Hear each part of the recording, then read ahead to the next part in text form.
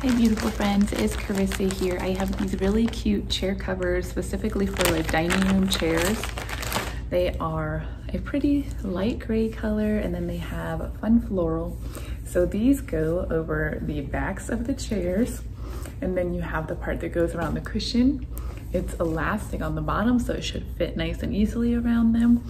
I'm gonna go ahead and put some on my chairs that are right back there for the dining room so you can see what they look like. They've got a little bit of a stretch to them, but definitely um, check out the different sizes and stuff so you make sure you get the ones that will work the best for your chairs.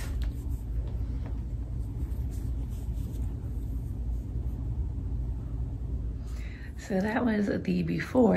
This is what it is after. It fits on it really nicely. It's very soft, gives you your kitchen, your dining room a whole different look. Um, and it's really, really pretty. So you've got enough, I've got enough to do all of the chairs here